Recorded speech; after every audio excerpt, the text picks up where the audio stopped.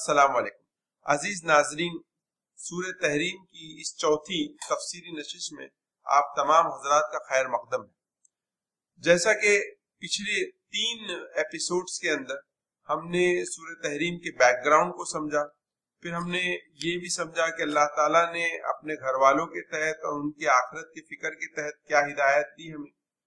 फिर अल्लाह के नबी करीम सल्लल्लाहु अलैहि वसल्लम के घर वालों को क्या हिदायत दी।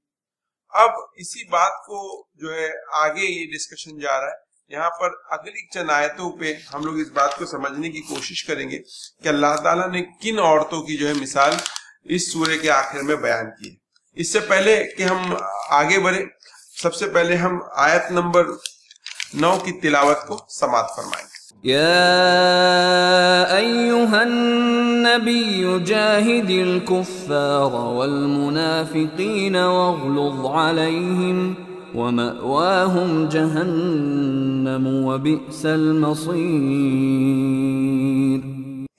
इन आयत में अल्लाह ताला फरमाते हैं कि ए नबी काफिरों और मुनाफिकों से जिहाद करो इन पर सख्ती करो इनका ठिकाना जहन्नम है और वो बहुत बुरी जगह है। मौलाना यहाँ पे इससे पहले की जो आयतें थी जहाँ पे अल्लाह के रसूल के घर वालों से जो है खिताब हुआ और फिर उसके बाद जो है अल्लाह ताला ने तौबा की जो है नसीहत की।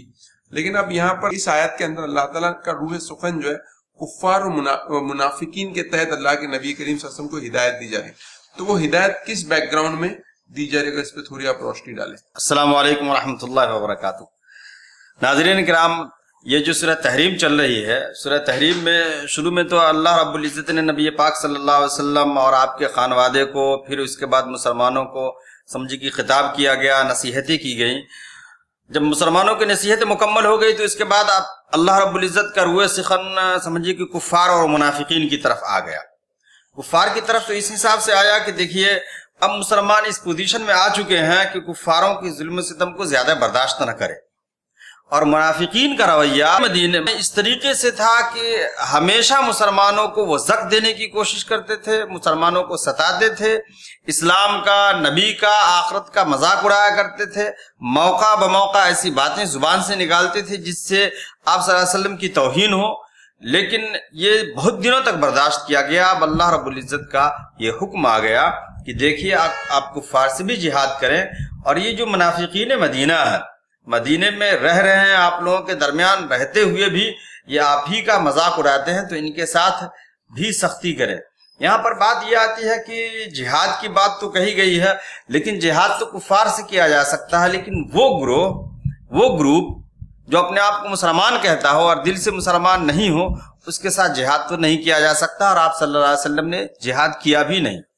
तो डॉक्टर साहब, यहाँ पे एक सवाल जो है कि जाहिद कुफार और मुनाफिकीन कुफार से भी जिहाद करा और मुनाफिकीन से भी तो मुनाफिकीन से जिहाद का क्या मतलब हो सकता है? मौलाना यहाँ पे एक हदीस हमारे सामने आती है कि एक बार जो है मुनाफिकीन की ने कोई बुरी हरकत की और साहबी ने कहा कि अल्लाह के रसूल के साहबी ने कहा कि क्यों हम इन्हें कत्ल न करते? जी तो अल्लाह के रसूल ने फरमाया कि अगर मुनाफिकीन को कत्ल करेंगे तो बाकी के जो अरब के लोग हैं वो कहेंगे कि मोहम्मद सल्लल्लाहु अलैहि वसल्लम अपने साहब ने अपने साथियों को कत्ल न करते। इसीलिए जो है अल्लाह ताला ने यहाँ पर जो वर्ड इस्तेमाल किया जिहाद का मुनाफिकीन और कुफार को साथ में रखा है कि मतलब दोनों के तई आपका रवैया इक्वली सख्त हो। सख्त जी जी। और दूसरा ये कि ये कि जहाँ पर मक्का के जो काफिर थे उनसे जो अल्लाह के जिहाद बिल सैफ कर रहे थे लेकिन यहाँ पर मुनाफिकीन से जिस जिहाद का तस्करा हो जिहाद बिल लिसान है। कि वो जबान के ज़रिए इनसे जो है इनकी जो इनके हर सवाल का इनके हर साजिशों का इनके हर तशने और तान का जो है जवाब तरकी बतरकी तरकी दे बल्कि ये ना हो कि अल्लाह के रसूल इनकी बातों को या सहाबा इकराम भी इनकी बातों को जो है सब्र के साथ या तहमुल के साथ जैसा कि अब तक करते अब जैसा कि अब तक कर रहे थे वैसे बर्दाश्त करते रहे। अच्छा इसमें एक जगह कुरान में ये भी आया वजाहिद हम बिही जिहादन कबीरा। हम्म। बिही से मुराद कुरान मुफसरीन ने मुराद लिया है इनके इनसे आप जिहाद करें बड़ा जिहाद करें और कुरान के ज़रिए। तो क्या कुरान में जो आयात नाजिर हो मुनाफिकीन को पढ़ के सुनाया जाए कि देखो तुम्हारे बारे में कैसी आयतें नाजिर हुई है? जी बिल्कुल बहुत इंपॉर्टेंट मौलाना आपने भी पॉइंट रेस किया कि जो जिहाद बिल निशान का एक इम्पोर्टेंट कंपोनेंट है वो ये कि हम जब जब कोई भी आर्ग्यूमेंट देते हैं जो इस्लाम दुश्मन ताकतों को उसका एक अहम पार्ट कुरान है। कि कुरानी वो हमको तमाम चीज़ें समझाता है जिसके ज़रिए जो है हम बातिल अकायद का बातिल नजरियात का जो है मुकाबला कर सकते हैं और उनको जो है जवाब दे सकते हैं। डॉक्टर साहब एक सवाल और। अलैहिम इससे क्या मुराद है? इन पर सख्ती कीजिए। सख्ती की अल्लाह के रसूल के अंदर एक उनके आप के के अखलाक और किरदार में एक मतलब हद दर्जे की जो नरमी नरमी। पाई जाती थी। और इसी नरमी का जो है अभी तक मुनाफिकीन फ़ायदा उठा रहे थे। तो इसी नरमी के तहत अल्लाह के रसूल सल्लल्लाहु अलैहि वसल्लम को अल्लाह ताला ने इशारा किया कि अब इस नरमी की जगह इन लोगों पर सख्ती कीजिए। उससे एक वजह ये भी समझ में आती है कि कुफार और मुनाफिकीन का जो डिस्टिंक्शन है वो दुनियावी लिहाज से। जी।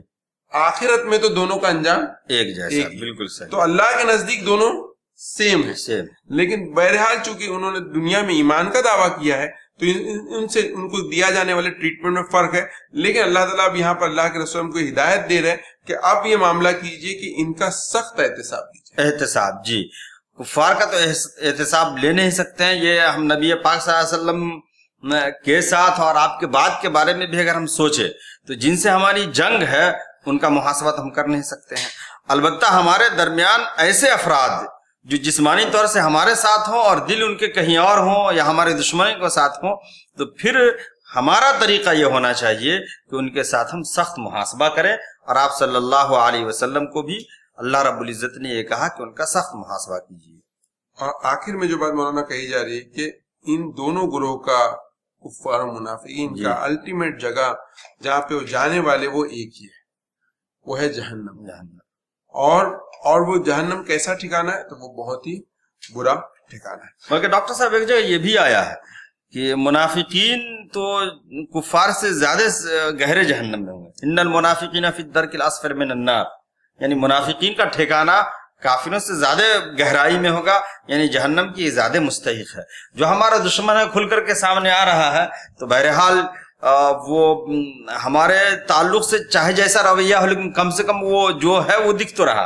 नहीं, बिल्कुल एक्चुअली यहाँ पर जो ये जो जिस आयत को आपने कोट किया उसके बैकग्राउंड मुफसरिन ये लिखते हैं कि जो लोग बातिल को सही समझते हैं और फिर उसके मुताबिक अपनी ज़िंदगी को ढालते हैं और उसके लिए तमाम तर चीज़ें कुर्बान करने के लिए तैयार होते हैं तो ऐसे लोगों के अंदर कहीं ना कहीं उनके अंदर वो जो किरदार है कि जिस बात को सही समझते हैं उसके लिए अपना सब कुछ लुटाने के। निपटाने के लिए तैयार होते हैं इसके बिलमुकाबिल मुनाफिकीन का ये मामला होता है कि उनकी तमाम तर वफादारी दुनिया के साथ वाबस्ता है उनको बस ये देखना है कि हमारे मफादात हमारे हमारे एसेट्स हमारे माल और असबाब किस तरीके से इस दुनिया में महफूज रह सके। इसीलिए वो जो है तमाम तर काम कर रहे होते ना उनको हक से कोई मानी होता है ना किसी और नज़रिए से को, कोई मतलब होता है। तो इसलिए उनके अंदर किरदार की एक बुनियादी कमज़ोरी पाई जाती है। अज़ीज़ नाजरीन इस माशरती और इस पूरे मुस्लिम माशरे के अंदर जो हालात थे उसके तय अल्लाह ताला ने जो हिदायत दी कि भाई आप आप जो है मुनाफिकीन से भी सख्त एहतसाब लीजिए। लेकिन अब जो है दोबारा रूह सुखन जो है असल मुद्दे की तरफ़ मतलब घर वालों की तरफ़ अल्लाह ताला जो है लेके जा रहा है और वहाँ पर अल्लाह ताला मिसाल बयान करे अगली आयतों में। यहाँ पर जो मिसाल बयान की गई, चार औरतों की जो है मिसाल बयान की गई है और उसमें दो औरतें जो है नेक और सालेहीन की जोजियत में थी और दूसरी दो औरतों में एक जो है फिरौन की बीवी थी और एक हज़रत मरियम अलैहिस्सलाम का आगे तस्कर आ रहा है। इससे पहले कि हम आयतों पर गौर फ़िक्र करें, पहले हम इसकी आयत नंबर दस की तिलावत को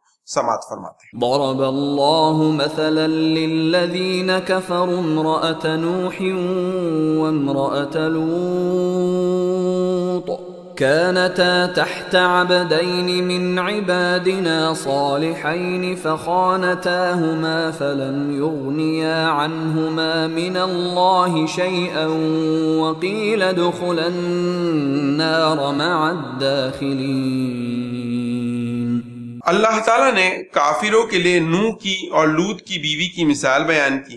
ये दोनों हमारे बंदों, यानी नेक बंदों के घर में थी। फिर उन्होंने खयानत की। बस दोनों इनसे अल्लाह के किसी अजाब को रोक न सके।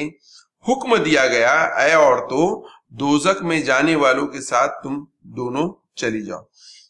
मौलाना, यहाँ पे जो मिसाल बयान की जा रही है, वो अल्लाह ताला मिसाल क्यों बयान कर देखिए मिसालें जो बयान की जाती है वो तकरीब जहनी के लिए यानी इंसानी जहन आसानी के साथ माहौल को और हालात को समझ सके। तो यहाँ जो मिसाल बयान की गई है ताकि आसानी के साथ हम समझ सकें। दूसरी बात यहाँ पर यह है कि हम इससे पहले की आयत में देखें कि जिसमें कहा गया कु अनफुसकुम व अहलीकुम नारा। हम्म यानी अपने आप को और अपने खानवादे को अपने खानदान को जहन्नम की आग से बचाओ। बाज लोगों ने जो कहा है कि इस आयत का ताल्लुक अजवाजुल नबी से है, ये बात दुरुस्त नहीं। इसलिए कि नबी पाक की जो अजवाज थी, हमारी माएँ थी, वो बहुत नेक, पाकबाज पाकतीनत थी। अलबत्ता यह है कि इस आयत को हम थोड़ा सा अगर पीछे की आयत, यानी कु अनफुसकुम अहलीकुम नारा से हम मिलाते हैं तो बात समझ में आती है कि आम मुसलमानों के खानदानी निज़ाम को, उनके घर बार को, उनके बाल बच्चों को, उनकी बीवी, बीवियों को देखते हुए इस आयत को अगर हम मिलाते हैं तो गोया कि तमाम मुसलमानों के लिए नसीहत है कि ये देखो कि ऐसी औरतें भी थी, जो ऐसे नेक बंदों के घर में रहते हुए भी इनका अंजाम ऐसा हुआ। तो कु अनफुसकुम वाहलीकुम नारा। अय मुसलमानों अपनी औरतों की और अपनी बच्चों की सही खबरगिरी करो। जी बिल्कुल। मौलाना बहुत अच्छा नुकता आपने रेस फरमाया। उसमें वही उसमें जो आगे जो बात आ रही है वो ये कि किसी नेक बंदे से सिर्फ़ एसोसिएट हो जाना या किसी नेक बंदे के तहत अपनी ज़िंदगी बसर करना या उसके साथ अपने आप को जोड़ना ये काफ़ी नहीं है इंसान की आखिरत की निजात के लिए। मतलब ये है कि दो औरतें हैं जो नबियों की बीवी है। जी। और उसके बावजूद भी उनको ये निस्बत, ये उनका उनका नबियों के घर के अहल होना, उनकी बीवी होना, उनको क्वालिफाई नहीं कर रहा है कि वो जहन्नम के अजाब से बच जाए और जन्नत में दाखिल हो जाए। तो इसमें हमारे लिए भी बहुत बड़ा गौर फ़िक्र का पहलू है कि अगर हम ये समझते हैं कि किसी बुज़ुर्ग से हम एसोसिएट हो गए, मोहम्मद किसी उम्मती है, सिर्फ़ इस वजह से हमको जो है निजात मिल जाएगी तो यहाँ पर अल्लाह ने बिल्कुल वाजह तौर पे बता दिया कि नबी की बीवियों को भी जो है ये एग्जामेशन हासिल है। इनफैक्ट जो अहादीस अगर आप तस्करा करो जिसमें अल्लाह के रसूल ने अपनी फूफी से जो फरमाया। कुरान की जी ये आयत है जिसमें अल्लाह रब्बुल इज़्ज़त ने नूह अलैहिस्सलाम की बीवी और लूत अलैहिस्सलाम की बीवी का तस्करा किया ये आप सल्लल्लाहु अलैहि वसल्लम ने भी अपने घर की, घर के अफराद को इस तरीके से आपने खिताब करके कहा था कि "ए कुरैश के लोगों, अपने आप को अल्लाह की गिरफ्त से बचाने की कोशिश करो। मैं अल्लाह के मुकाबले में तुम्हारे कुछ भी काम ना आ सकूँगा। अय बनी अब्दुल मुत्तलिब, मैं अल्लाह के मुकाबले में तुम्हारे कुछ भी ना काम आ सकूँगा। अय अब्बास बिन अब्दुल मुत्तलिब, मैं अल्लाह के मुकाबले में तुम्हारे कुछ भी काम ना आ सकूँगा। अय सफिया, अल्लाह के रसूल की फूफी, मैं अल्लाह के मुकाबले में तुम्हारे कुछ भी काम ना आ सकूँगा। अय फातिमा, अल्लाह के रसूल वसल्लम की बेटी, तुम मुझसे मेरे माल में से जो चाहो तरब कर लो, लेकिन मैं अल्लाह के मुकाबले में तुम्हारे कुछ भी काम ना आ सकूँगा। ये लंबी हदीस मैंने जानबूझ करके सुनाई है कि आजकल जो रवैया मुसलमानों का है, वो यही है कि सोचते हैं कि हमारी नस्बत फला पीर से है फला वली से है तो हम बच जाएँगे। बल्कि डॉक्टर साहब ऐसा भी देखने में आया है बाज लोग दफन करते वक्त जो है शजर नामा या किसी का वो तस्दीक नामा या क्या नामा वो कबर में रख देते हैं कि फरिश्ते आके इनसे जरा नरमी से सवाल करेंगे। ऐसा कुछ भी नहीं है। बगावत पर हो आमादा तो डूबे नूह का बेटा यहाँ नामो नसब की बरतरी से कुछ नहीं होता। बिल्कुल। और इसमें यहाँ पर एक पहलू ये भी समझना चाहिए नाजरीन को वो ये है कि कोई भी शख्स इबादत के ज़रिए अपनी नेकी के ज़रिए बहुत सारे दर्जात तय कर सकता है। लेकिन कभी भी वो नबूवत के मकाम पे नहीं पहुँच सकता जी जी जी बिल्कुल तो यहाँ पर नबी की बीवियों को एक्सम्पशन नहीं मिल रहा है बल्कि उनके बारे में क्लियर कट कुरान में ये वहीद सुनाई गई कि वो जहन्नम में जाएँगे बावजूद इसके कि वो हमारे नेक बंदों के मातहत थी। मातहत मतलब ये कि 24 घंटे का साथ और सालों की अगर नू अलैहिस्सलाम की बीवी का जो यहाँ पे तस्करा आ रहा है तो नू अलैहिस्सलाम की उम्र कितनी बताई जाती है? साढ़े नौ सौ साल। साढ़े नौ सौ साल मतलब उस वक्त का जितने मतलब सैकड़ों साल की का एसोसिएशन रहा है लेकिन वो चीज़ भी उनको जो है जहन्नम की आग से नहीं। नहीं बचा और ऑब्वियसली उन्होंने उन, उनकी बीवी ने अपने बहसियत बीवी अपने शोहर की खिदमत भी की होगी। जी जी। लेकिन ये खिदमत भी उनको वहाँ पे काम बचा नहीं। काम नहीं आ सकी डॉक्टर साहब इसमें एक बात ये भी समझने की है कि नू अलैहिस्सलाम की बीवी नू अलैहिस्सलाम के खून का हिस्सा नहीं थी ये दूसरे खानदान की रही होगी। तो एक बात ये समझ में आ अगर कोई ये कहे कि नू अलैहिस्सलाम की नस्ल से नहीं थी तो हम इस बात को भी क्लियर कर दें कि अंबिया की नस्ल से होने के बावजूद भी अगर नबवी मिशन पे कोई नहीं चला है तो वो कुफार के साथ माना जाएगा जैसे कि नू अलैहिस्सलाम का बेटा। जी बिल्कुल। या इब्राहिम के वालिद। या प्यारे रसूल वसल्लम के खानदानी चचा वगैरह तो ये सोचना चाहिए कि देखिए चाहे वो नस्बी हो और रिश्तेदार के हो दुनिया की सबसे अजीम तरीन हस्ती के साथ भी अगर नस्बत या रिश्ता हो उसके बाद भी अगर कोई इस्लाम को या नबवी मिशन को नहीं अपनाता है तो आखिरत में उसकी नजात नहीं। इसमें एक बात ये भी आता है कि नूह अलैहिस्सलाम को उनकी बीवी जो है वो मजनू कहा करती थी। जी मैं उसी पे आ रहा था। मौलाना जो अगला जो बात आ रहा है जो क्राइम यहाँ पर बयान हो रहा है जिसकी वजह से जो है उनको ये सजा मिली उसमें वर्ड जो इस्तेमाल हो रहा है फिर उन्होंने खयानत की। फखानता हुमा कि उन्होंने खयानत की। तो यहाँ पे सवाल पता कि वो वो नबियों की बीवियों ने वो कौन सा गुनाह किया था जिसके नतीजे में जो है उनको ये अजाब जहन्नम का ये ये बात क्लियर होनी चाहिए कि अम्बिया कराम आदम अलैहिस्सलाम से लेकर के प्यारे रसूल वसल्लम तक और बीच में जितने अम्बिया हैं तमाम अम्बिया की जो बीवियाँ थी, वो निहायत पाकबाज, पाक तीनत और शरीफ बीवियाँ थी, रही है। हाँ यह है कि खयानत से मुराद यहाँ पर उनकी जिस्मानी खयानत नहीं है, बल्कि वो खयानत है जो नबवी खानदान में और नबी के घराने में होने के बावजूद नबी के साथ जो इनका जहनी तालमेल होना चाहिए, वो नहीं था और नबी जो अमानत लेकर के आए थे इस्लाम की शक्ल में, उसको उन्होंने नहीं अपनाया। और रिवायतों में तो ये भी आता है कि नूह अलैहिस्सलाम का इनकी बीवी मज़ाक भी उड़ाया करती थी और जिस तरीके से दूसरे लोग मजनू कहा करते थे ये भी कहा करती थी। लेकिन ये बात क्लियर है कि वो जिस्मानी तौर से फहाशी की शिकार नहीं थी। खयानत से मुराद यहाँ पे ईमान और इस्लाम की खयानत है। जी बिल्कुल। यहाँ पर मौलाना अगर इसको हम थोड़ा और एलोबरेट करें और डिटेल में समझने की कोशिश करें इस खयानत को जैसा आपने बिल्कुल वाजह तौर पे कहा कि नॉर्मली औरतों के ताल्लुक से जिस खयानत खयानत वर्ड का इस्तेमाल करके जहन में जो बात आती है वो यहाँ पर मुराद नहीं। नहीं है। क्योंकि ये बिल्कुल वाजह तौर पर बात है कि नबी जो होते हैं वो एक मुकम्मल इंसान होते हैं और एक कामिल इंसान के तौर पे जो है माशरे में रहते हैं और वो कभी ये नामुमकिन बात है कि वो किसी खुली फहाशी और बदकारी को जानते बूझते भी उसको जो है अपनी ज़िंदगी भर बर्दाश्त करेगी। बल्कि यहाँ पर जिस चीज़ का तस्करा हो रहा है वो ये है कि जिस ईमानी और इस्लाम के मिशन को लेकर नबी चल रहे हैं तो बीवियों का उस मिशन पर और उस ईमान के काम पर ईमान नहीं था। वो इस, वो ये बात को मानने के लिए तैयार नहीं थी कि उनके शौहर जो है अल्लाह के नबी है और वो जो काम को कर रहे हैं, वो तमाम तर सच्चाई पर मुबनी काम है।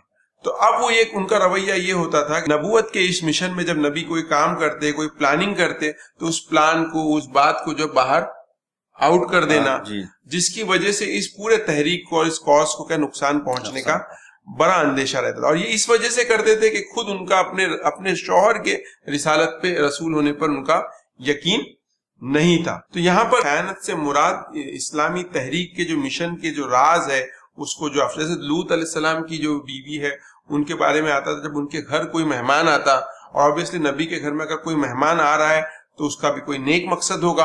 तो लेकिन जब कोई मेहमान आता तो उसकी खबर वो दूसरे लोगों को दे दिया कर दे दिया करती थी। तो ये तमाम वजह से जो है इन्होंने जो है तहरीक को जो है नुकसान पहुँचाए और उसके नतीजे में जो जहन्नम का अजाब अ, जो है उनके ऊपर जिसकी जो है यहाँ पर उनको वही जो है सुनाई गई है।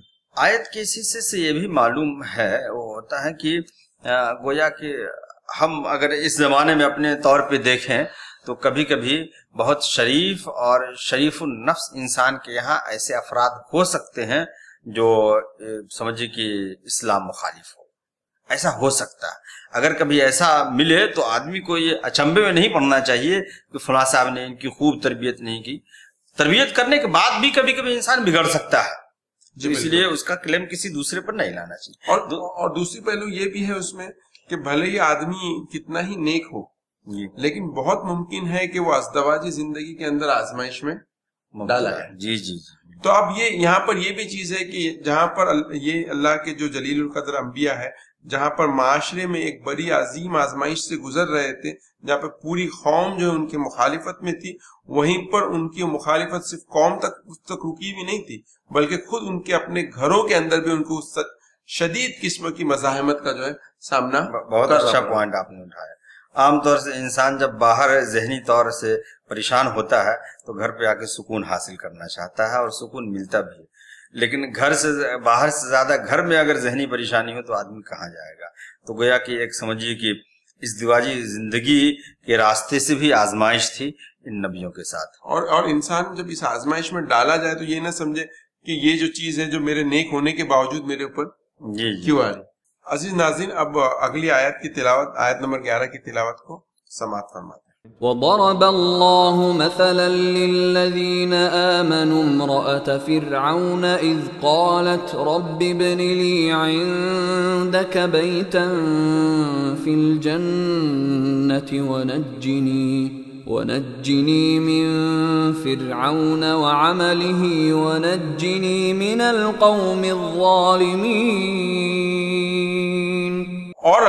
अल्लाह ताला ने ईमान वालों के लिए फिरौन की बीवी की मिसाल बयान फरमाई, जबकि इसने दुआ की, ऐ मेरे रब, मेरे लिए अपने पास जन्नत में एक मकान बनाइए और मुझे फिरौन से और इसके अमल से बचा लीजिए और मुझे जालिम लोगों से खलासी दीजिए या निजात दीजिए।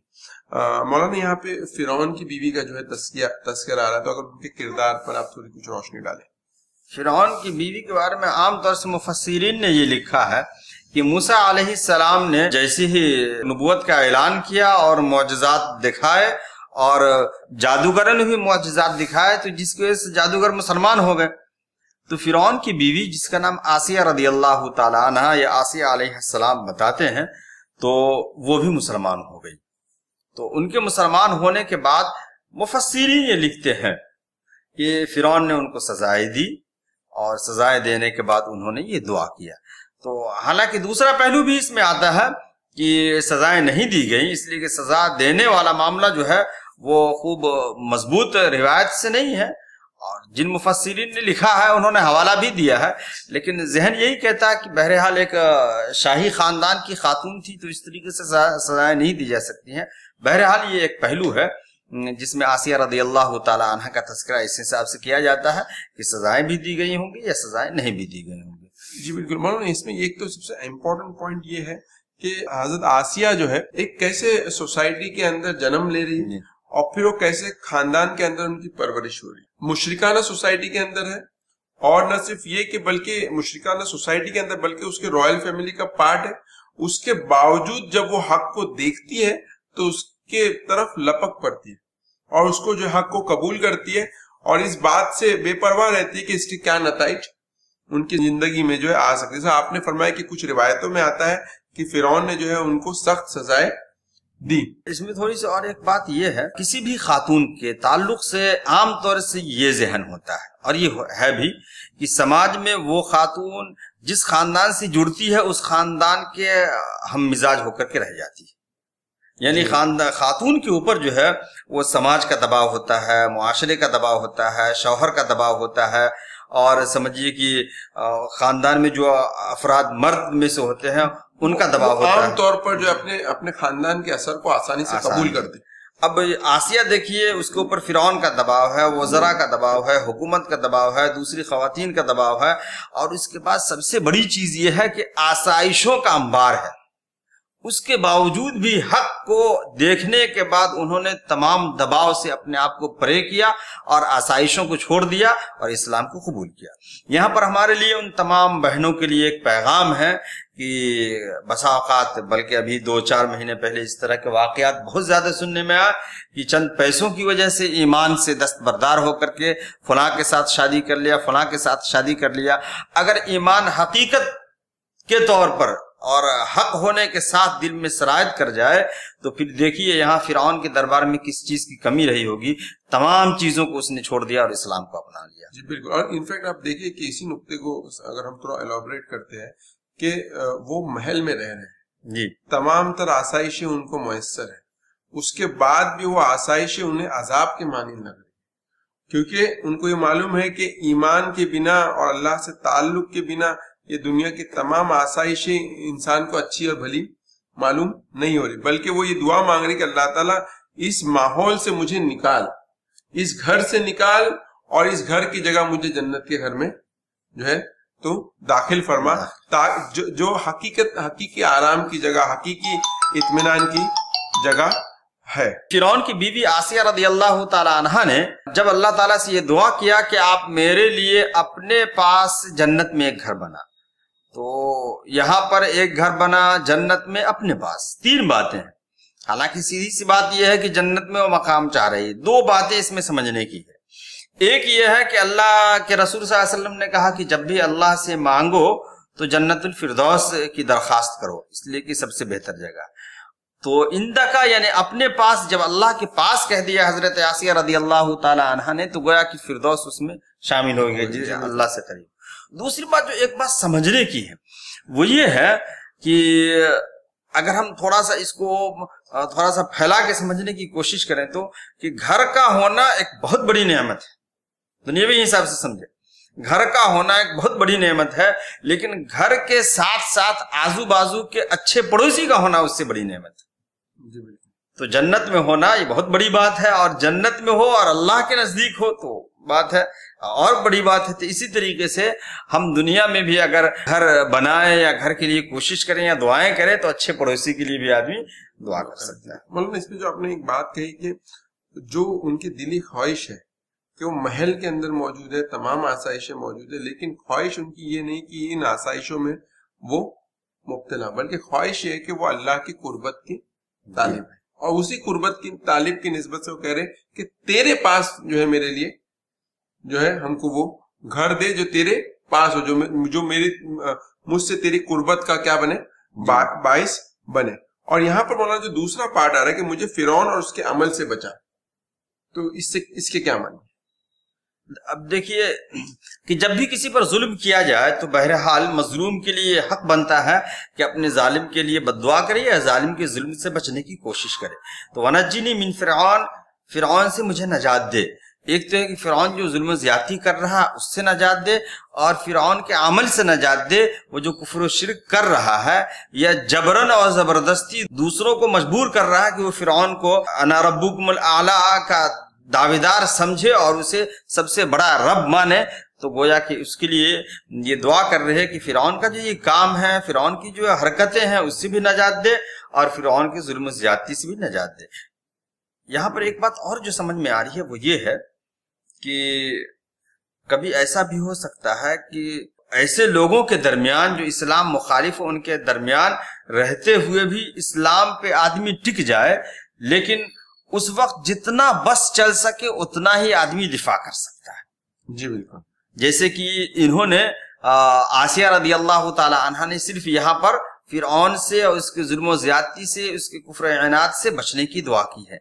तो आदमी जहाँ भी जिस हाल में भी रहे जितनी ताकत हो जिस पोजीशन में हो उस पोजीशन में अपना और अपने इस्लाम का अपने ईमान का दिफा कर सकता फिरौन की बीवी जो थी वो फिरौन की बादशाहत का जो है एक बहुत इंपॉर्टेंट जी जी। पार्ट थी। अब फिरौन जो जुल्म कर रहा था कहीं ना कहीं उसकी जुल्म की जुल्म और ज्यादती के जो भी बुरे असरात है मेरी आखिरत को असरअंदाज न हो।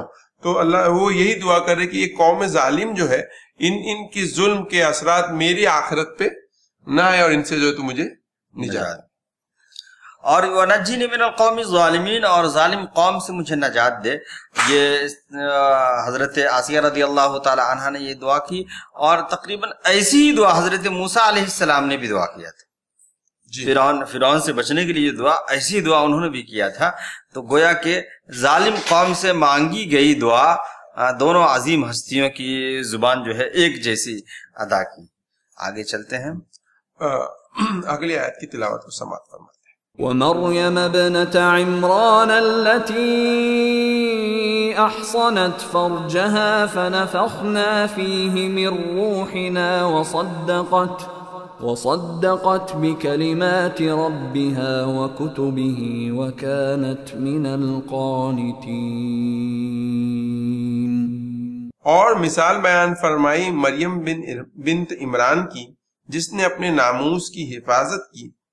फिर हमने अपनी तरफ़ से इसमें जान फूक दी।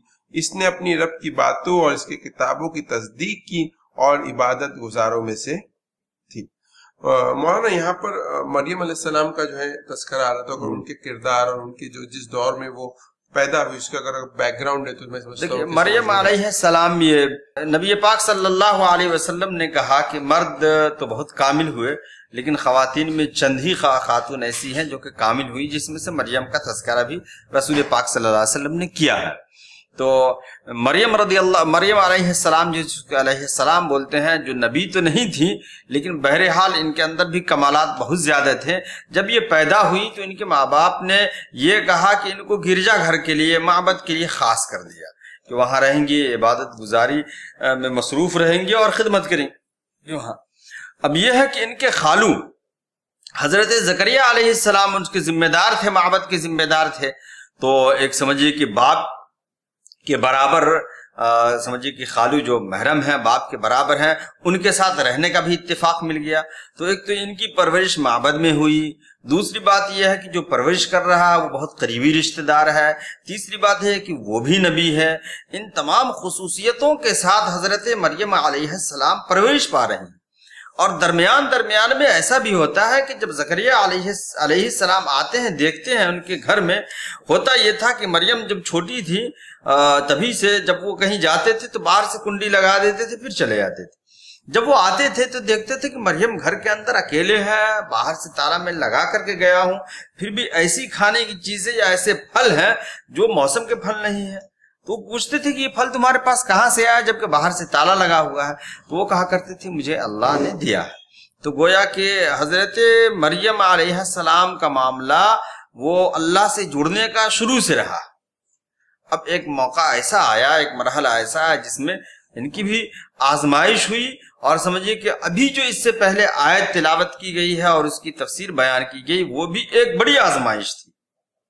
हज़रत आसिया के साथ बड़ी आजमाइश थी।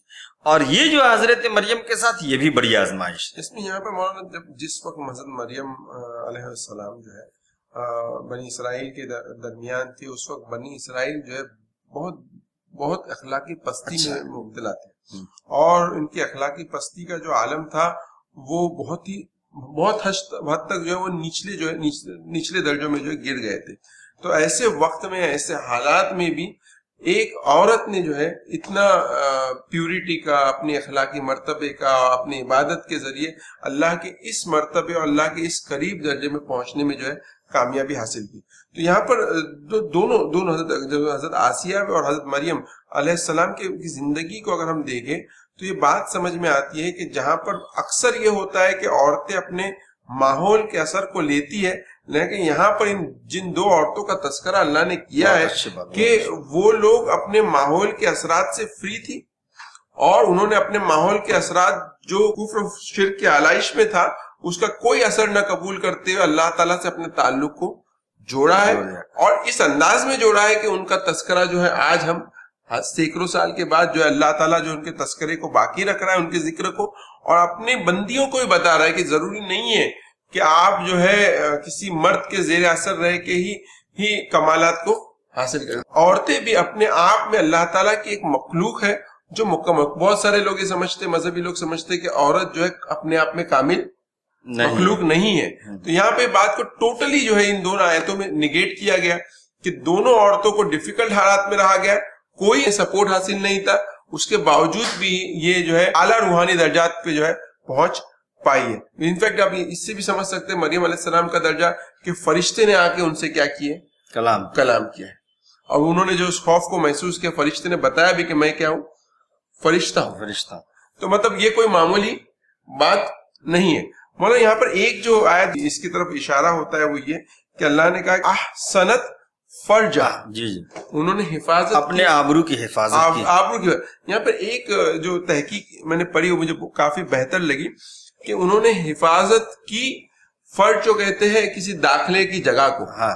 तो उन्होंने कहा कि इंसान की पर्सनालिटी के अंदर गुनाह के जो दाखिलों के दाखिले के जो ज़रिए है उसके ऊपर उन्होंने क्या किया पूरी तरीके से? जो है उसको प्रोटेक्ट किया। वो क्या क्या ज़रिए है? उनमें से आँख भी है कान भी है सूंघना भी है खाना भी है। तो ये तमाम चीज़ों की जो दाखिले की जगह है तो ये प्राइवेट पार्ट्स भी, तमाम चीज़ों की जो उन्होंने कॉम्प्रिहेंसिवली क्या की, हिफाजत की। और ये हिफाजत जब इंसान करता है तो ऐसे दर्जात पे जो है फाइज गोया कि इस जमाने में भी अगर कोई खातून समझिए कि अल्लाह की नेक बंदी बन के रहे, और हर एतबार से जितनी तफसीलात आपने बताई है, कि ज़िंदगी के हर शोबे में और जिस्म के हर हिस्से की हिफाजत करे तो फिर अल्लाह की नेक बंदी दुनिया में भी हो सकती है इसके कमालात इसके असरात दुनिया में भी मिल सकते हैं और आखिरत में भी मिलेंगे। जी बिल्कुल। फिर उसके आगे जो है अल्लाह ताला ने उसमें उनकी जो उनको जिस आजमाइश में डाला और जिस अजीम शख्सियत ईसा को की, की जो पैदाइश उनके तौर पर मोजाती तौर पर बिना बाप के उनके ज़रिए हुई तो उसका जो है आगे तस्करा हो रहा है कि फिर हमने अपनी तरफ़ से इसमें जान फूक दी। हज़रत जब्राईल सलाम ने हज़रत मरियम के गरीबान में फूंक मारी थी, अल्लाह की तरफ़ से फूंक थी, जिस फूंक की वजह से हज़रत ईसा सलाम जो है, उनकी बतन में परवरिश पाने लगे, अल्लाह के हुक्म से ये था। इसलिए हज़रत ईसा सलाम को रूहुल्लाह भी कहा जाता, अल्लाह के रूह है। ये खुदा की तरफ़ से मोजाती तौर पे था। आम तौर से इंसान की पैदाइश का जो सिस्टम है, वो अलग होता है और मुआजा कहते है ऐसी चीज़ को, कि जिसे इंसान की अकल जो है, जिसे देख करके हैरान रह जाए और उसे समझ में ना बात आए तो ये मुआजा होता है। तो गोया कि ईसा की विलादत मुआजाती तौर पर हुई। वसदत भी कलिमात रबिहा व कुतुबिही। और उसने तस्दीक किया अपने रब के कलिमात की और उसकी किताबों की। ज़ाहिर सी बात है कि अल्लाह रब्बुल इज़्ज़त के कलिमात जो उनकी कानों में पड़ते रहे होंगे, गिरजा में रहने की वजह से, माबद में रहने की वजह से और नेक लोगों के ज़रिए तो जो भी चीज़ जहनों में आती थी, उसकी वो तस्दीक करती थी। अच्छा तस्दीक करने के लिए ज़रूरी है कि इंसान के पास इल्म भी हो। जो इंसान जाहिल होगा तो वो तस्दीक कैसे करेगा? उसे जब मालूम ही नहीं हो कि कौन सी बात सच है, कौन सी बात झूठी है तो तस्दीक कैसे करेगा? तो आगे हवा कुतुबी ही। यानी हज़रत मरियम सलाम किताबों की भी पढ़ी लिखी थी। और उनके पास उस वक्त तौर, तौरात भी रहा होगा और समझिए कि जबूर भी रहा होगा और दीगर किताबें जो अंबिया की किताबें थी वो रही होंगी तो वो किताबों के पढ़ करके अल्लाह की बातों को समझ करके तस्दीक करती थी। इसमें हमारे लिए एक पहलू ये निकलता है कि आजकल हमारी जो खातन हैं वो अपने आप को समझ रखी है कि बस हमारा काम घर का काम करना है बच्चों की देख करना है और अपने बनाव सिंगार में वक्त गुजारना है। ऐसा नहीं होना चाहिए। सदकत बिकलिमातिहा के लिए ज़रूरी है कि किताबों को भी पढ़ें। अल्लाह की किताबों को, रसूल की सीरत को, और समझे कि हमारे असलाफ की जो सीरतें हैं और उनकी लिखी हुई जो बातें हैं, उनको पढ़ना। खसूसी तौर से कुरान, तफासिर, अहादीस और तारीख को। ये पढ़ना ज़रूरी है। जब पढ़ेंगे, इल्म हासिल होगा, तभी तस्दीक करने में भी तयकुन पैदा होगा दिल के अंदर। तो गोया कि मरियम सलाम की खूबियाँ जो बयान की गई है, वो ये है कि वो उन्होंने तस्दीक किया अल्लाह की बातों की और तस्दीक करने की और अल्लाह की किताबों की, गोया की किताबें वो पढ़ा करती थी। वकानत मिनल खानतीन और वो समझिए कि अल्लाह के लिए वो सरनिगु होने वाली। दो बातें इसमें समझ में आती है। एक तो यह है कि ये खुद फर्मा बरदार थी, अल्लाह के लिए सरनिगु होने वाली थी। और दूसरा पहलू जो इससे समझ में आता है कि तने तनहा इनके बारे में नहीं कहा जा रहा, बल्कि ये इनसे पहले या इनके इर्द गिर्द या इनके जो मिलने जुलने वाले थे, उनमें भी ऐसे अफराद थे जो कानतीन थे और वो उनमें से थी। गोया कि इनकी तारीफ़ करने के साथ साथ उन लोगों की भी तारीफ़ की गई है, उन लोगों की भी खसूसियत बयान की गई है, जो इनसे पहले या इनके जमाने में खुदा के फर्मा बरदार होकर के ज़िंदगी गुजारे। गुजार रहे हों या पहले गुजारे होंगे तो गोया कि कानित जो है ये फर्मा बरदार और सरनिगु होने वाले को कानित कहते हैं। यहाँ पे हज़रत मरियम सलाम को कहा गया कि ये अल्लाह की फर्मा बरदार थी। अज़ीज़ नाजरीन, ये सूर्य तहरीम अपने अख्ताम को पहुँची है अगर इस सूर्य का अगर हम खुलासा समझने की कोशिश करें तो बिल्कुल वाज है कि अल्लाह के रसूल सल्लल्लाहु अलैहि वसल्लम के जो वाक़ हुआ, उसके ऊपर अल्लाह ताला ने कुछ कमेंट्स किए। और फिर उसके बाद जो है जनरलाइज हिदायत दी गई कि हर मोमिन को इस बात की फ़िक्र करनी चाहिए कि वो अपने घर वालों को जहन्नम की आग से बचाए। और इस प्रोसेस के अंदर ये भी बहुत ज़रूरी है कि वो जो है, सच्ची तौबा करने वाला खुद भी बने और सच्ची तौबा की दूसरों को जो है, तलकीन भी करे। आखिर में अल्लाह ताला ने चार औरतों की मिसाल बयान की जो हमने इस इस सेशन के अंदर जिसमें हमने जो है, गुफ्तगु की। और स्पेशली जो दो खातन हैं, हज़रत हज़रत आसिया और हज़रत मरियम सलाम जिन्होंने अपनी मुश्किल से मुश्किल हालात के अंदर अपने आप को ईमान से जो है मुनवर रखा और अल्लाह से इस हाल में मिली कि अल्लाह उनसे राज़ी था। और इतना राज़ी था कि अल्लाह ताला ने उनका तस्करा अपनी इस किताब में किया और रहते वक्त तक इंसानों में उनके तस्करे को जो है बाकी रखा है। ये औरतों के लिए बहुत इंपॉर्टेंट मैसेज है। आज के ज़माने में बहुत सारे लोग इस तरह के प्रोपागेंडा करते हैं कि इस्लाम जो है, औरतों को जो है मुकम्मल नहीं समझता, या इस्लाम या अल्लाह के नज़दीक औरत और मर्द अलग है, लेकिन ऐसा कोई भी वाक्य नहीं है, जबकि हकीकत वाक्य ये है कि अल्लाह ताला ने, अल्लाह ताला के यहाँ पे जिन इंसान को जितनी आज़ादी दी गई, उतना उससे मुहासबा किया जाएगा।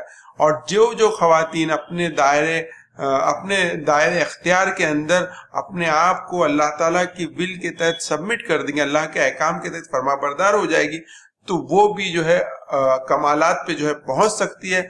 और जिस तरह जिस तरह आसिया सलाम दुआ कर रहे कि अल्लाह ताला मुझे अपने करीब घर अता कर। या हज़रत मरियम सलाम का जो वाक़ आता है कि उनसे जो है फरिश्तों ने जो है गुफ्तगु की है तो इन दर्जात पे भी जो है खातन अपने अमल के ज़रिए जो है पहुँची है।